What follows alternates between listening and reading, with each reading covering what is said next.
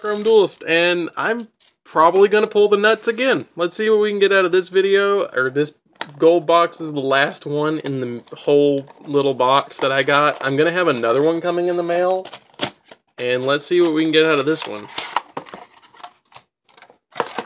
We'll throw that off the side. Seems to be good luck to chunk them in the floor. So let's see what we can get out of this one.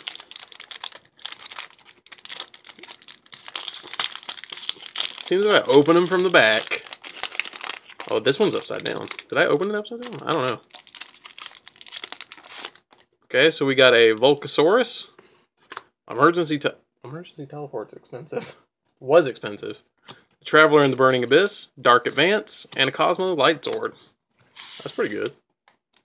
Let's see what we can get out of this next one. I mean, E-Teleport's pretty good.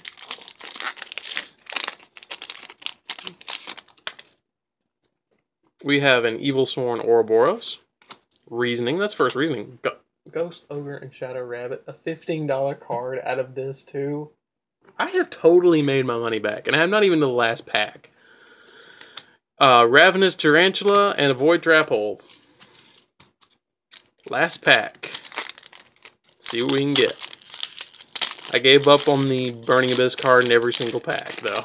I think. I don't know. I haven't been paying attention. I've just been paying attention to the awesome stuff I've been pulling. The Terminus in the Burning Abyss, Constellar M7, uh, Chimera Tech, Fortress Dragon, Shining Hope Road, and an Ice Hand. That was pretty good. That, that was actually pretty good. Ghost Ogre. Whatever. I'll take a Ghost Ogre. That's a $15 card for right now. Anyways, guys, this is Dark Arm Duelist. I hope you enjoyed this opening. I certainly did.